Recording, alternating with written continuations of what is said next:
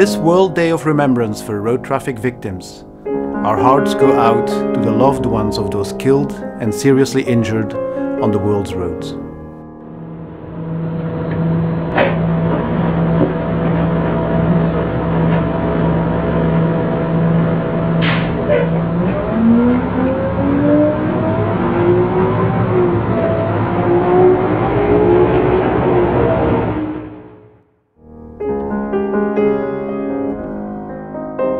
Is indeed a time to remember them.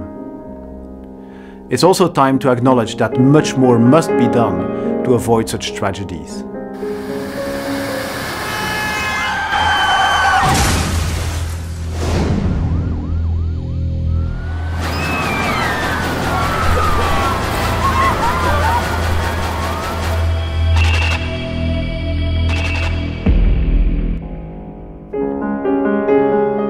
Today is a day to remember.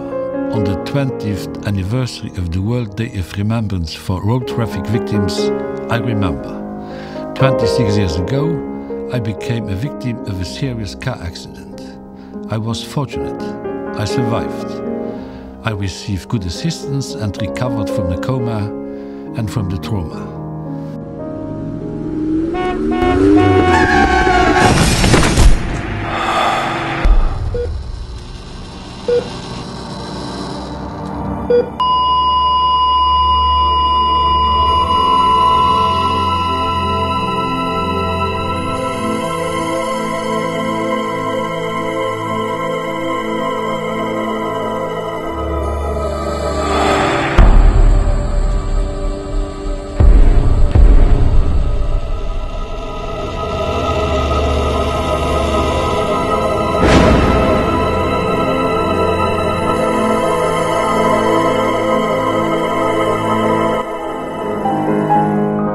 Today is not just a tribute to victims, it is also a warning to us as a society that we still need to do much more to improve road safety.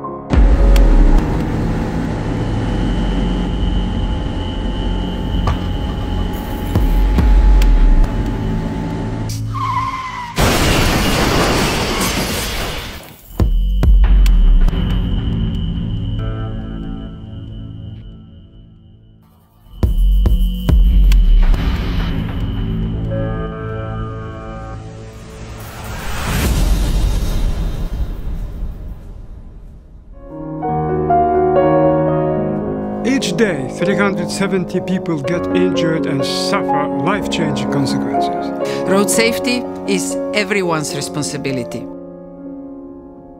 I strongly encourage you to take a moment to remember the 1.25 million lives lost on the road every year, the 50 millions more who are left seriously injured, and all the families and loved ones who are so tragically affected by road crashes.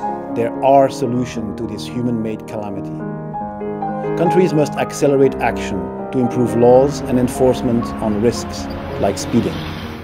This year's World Day of Remembrance highlight the fact that even after a road traffic crash occurs, there is an enormous opportunity to save lives and reduce disability.